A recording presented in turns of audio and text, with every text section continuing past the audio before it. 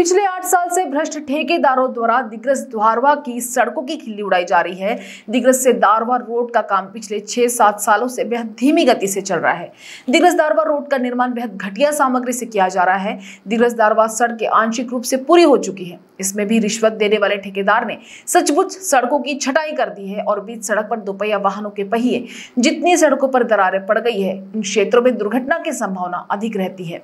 दिग्रस दारवा सड़क पहले से ही जर्जर अवस्था में है। सड़क पिछले एक पखवाड़े में सीमेंट, कंक्रीट से पक्की है, लेकिन गड्ढों के कारण इस सड़क पर कई दुर्घटनाएँ हो रही है।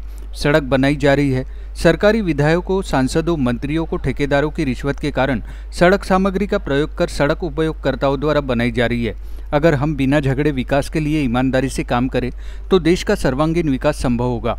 लेकिन राज्य सरकार विकास पर ध्यान देने के बजाय एक दूसरे पर उंगली उठाकर एक दूसरे की बातों को निशाना बनाने की कोशिश कर रही है और प्रशासन से जनता मांग कर रही है कि ऐसे आलसी, फर्जी, निष्क्रिय, बेईमान कंप्यूटर ठेकेदारों को ब्लैकलिस्ट किया जाए।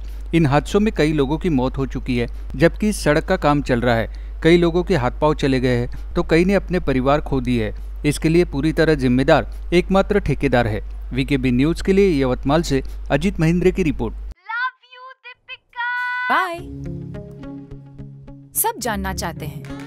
मेरा फेवरेट कलर मेरा फेवरेट डेस्टिनेशन मेरी फेवरेट डिश पर कोई ये नहीं पूछता कि फेवरेट डिश मैं बनाती कैसे हूँ। अरे यार, जिसे टेस्टी खाना पसंद है, वो अच्छे टेस्ट तक पहुँच ही जाता है। सुरुचि मसाले। खाने में हो रुचि तो घर लाइए सुरुचि।